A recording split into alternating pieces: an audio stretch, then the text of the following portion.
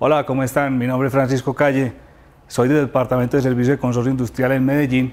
Nosotros somos los importadores de una serie de productos para la construcción y queremos hablarles sobre la parte del manejo directamente en el día de hoy. Eh, es una empresa que si bien está ubicada en Medellín, también cuenta con una oficina acá en la ciudad de Bogotá y nuestra idea es que ustedes aprendan sobre la parte del manejo de los equipos. Inicialmente vamos a hablar sobre esta parte de una máquina cortadora de ladrillo. Esta máquina es importada por nosotros. Lo que corresponde a la parte del chasis básicamente y la línea de corte corresponden a una marca llamada Simar que es de origen chino y tenemos en la parte superior un motor Baldor de 5 caballos. Ese motor Baldor es 100% americano y es un equipo que es ensamblado directamente por nosotros en la ciudad de Medellín. Inicialmente vamos a hablar sobre la parte del motor. Como les decía, es un motor americano, Baldor, es un motor de 5 caballos de potencia que está conectado a 220 y cuenta con un switch para la parte del funcionamiento. Es decir, cuando queramos operar la máquina, debemos de llevar la línea de conexión directamente a una fuente de 220 y de igual manera hacer el proceso con la parte del switch de encendido y apagado. Esta máquina cuenta también con la parte eh, superior que es la que sufre el desplazamiento cuando vamos a hacer eh, el movimiento para el corte propiamente. Ella es escualizable y lo puedo hacer de dos maneras. Lo puedo hacer colocando la parte del mando superior que es un tubo propiamente que va roscado en dicho sitio y me permite en un momento dado hacerle la fuerza indicada para ejercer el corte sobre la parte de ladrillo que necesitamos. De igual manera, en la parte inferior cuenta con un pedal. Este pedal, si el operario lo desea, simplemente lo que hace es bajarlo y la cuchilla de corte se va a accionar. Básicamente así es que funciona nuestra cortadora de ladrillo. De igual manera, ella viene soportada en una especie de trípode que cuenta con unas ruedas que son escualizables. Solo basta con aflojar el perno inferior y ella queda en posición de altura suficiente para poder desplazar la máquina. Dentro de la parte de mantenimiento del equipo podemos hablar dos cosas. La primera, la parte de chumaceras, que son cuatro que están ubicadas, dos en la parte inferior del motor y dos por la parte de abajo del cabezal, que son las que llevan el mantenimiento en un momento dado.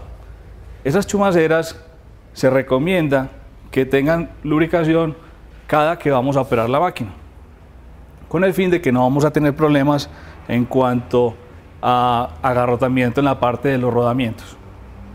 De igual manera, también tiene en la parte superior una línea que es la de suministro de agua cuando vamos a hacer la operación del corte. Si la máquina operara en seco, tendríamos problemas con el disco diamantado este inmediatamente perdería toda su fibra de, diamante y se, en un momento dado se quemaría. Entonces es importante que lo tengamos en cuenta. La máquina viene con un barraje que nos ayuda a la parte del ángulo del ladrillo que queramos cortar en un momento dado. Simplemente es ubicar esta parte lateral del carro de desplazamiento con respecto a la parte del barraje que nos sirve como guía. Entonces, dependiendo de eso, simplemente utilizamos este barraje. Muy bien, como les decía hace un instante, cuenta con un carro de desplazamiento que es el que nos va a ayudar básicamente a tener una posición específica en cuanto al ladrillo cuando lo estemos cortando. Si en un momento dado necesitamos tener un punto fijo de la parte superior de la cortadora, cuenta en la parte trasera con una palanca que es simplemente de ajuste. Es esta palanca. Entonces, si queremos que el carro esté en un punto fijo, basta con apretar dicha palanca y vamos a tener la posición del carro. Básicamente, esto es lo que corresponde a la cortadora. Ahora bien, si vamos a instalar ya el disco, lo que vamos a hacer es aflojar el tornillo de las platinas que sujetan dicho disco y lo hacemos aflojándolo en forma contraria, es decir, este tornillo es de rosca izquierda, que lo deben de tener muy presente.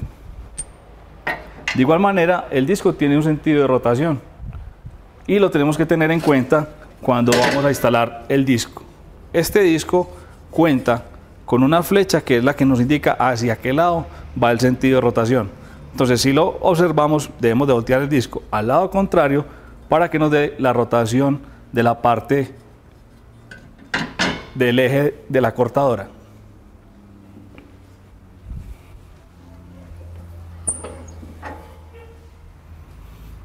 Vamos entonces a instalar dicho disco. Corremos el carro para que no nos estorbe y ponemos el disco en su posición. Nuevamente colocamos la arandela de sujeción y colocamos el tornillo. Hay un dato importante y es el siguiente. Debemos de tener también en cuenta que para poder colocar estos elementos necesitamos bloquear el eje central para apretar o aflojar el tornillo. ¿Cómo se hace? En la parte inferior de todo el eje de la cortadora, es decir, en este punto, en la parte inferior del eje, viene un espacio donde nos da la posibilidad de bloquear dicho eje. Es decir, con una llave, pues es una llave expansiva, la colocamos ahí y ya podemos hacer el ajuste del tornillo. Si no lo hacemos, corremos el riesgo que el disco en un momento dado se afloje, se queme o por el contrario eh, puede incurrir en algún tipo de daño físico. Entonces es importante que bloqueemos el eje central para poder hacer dicho ajuste. Como les decía también hace un instante, primordial el agua. El agua tiene una llave de paso en la parte superior que es la que nos mantiene lubricado el disco. El agua es básicamente el, el pilar para que no se dañen los discos en un momento dado. Entonces, básicamente esta es la máquina cortadora. Cuidados básicos, grasa común en las chumaceras, como les decía hace un instante, y el agua, primordial fundamental para lo de la parte de la cortadora. De resto no requiere ningún otro tipo de mantenimiento.